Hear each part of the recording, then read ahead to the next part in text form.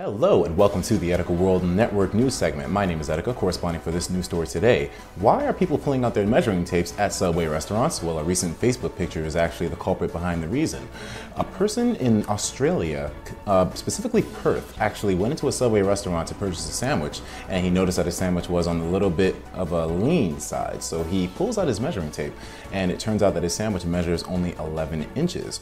Now, Subway customers are doing this nationwide because the photograph itself received more than 131,000 likes and thousands upon thousands of comments. Four out of seven $5 footlongs purchased at Subways in Manhattan, Brooklyn, and Queens measure only 11 or 11.5 inches. Because of this, the craze of people measuring their sandwiches is all over the United States right now. Even I've done it myself going to the recent Subways that are around here in this neighborhood, and let me just say, most of the times my sandwiches only come up to 10 inches, maybe even 11 on a good day. So this is something that Subway does acknowledge, but they have not put out a exact reaction to it to be able to assess the problem.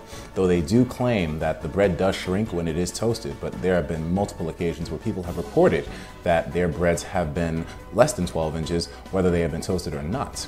Considerably enough, in my honest opinion, I believe that Subway sandwiches are getting smaller, but rather maybe not exactly only by length, but by width as well. It can be seen in multiple photographs that Subway sandwiches do differ in width as well as length. So this way they do cut down on a little bit of bread shortages, I suppose, by making sure that breads are reduced in size in both angles. So it is an interesting topic to think about. And basically, that is it. This is the Etika World Network news segment, and I will talk to you all later on. Thank you for tuning in. Take care of yourself, and please have a good one and stay informed.